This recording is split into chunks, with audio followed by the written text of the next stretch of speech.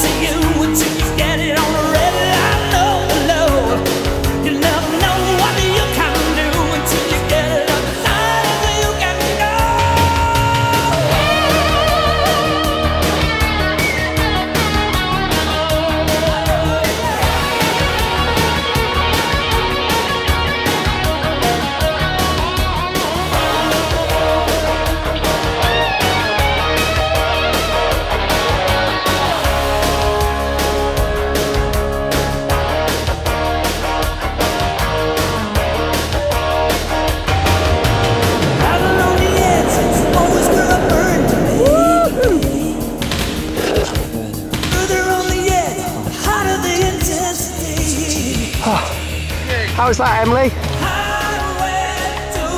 That was, I did not scream. I did not. You did? That was quite surreal. Yeah. We like to do that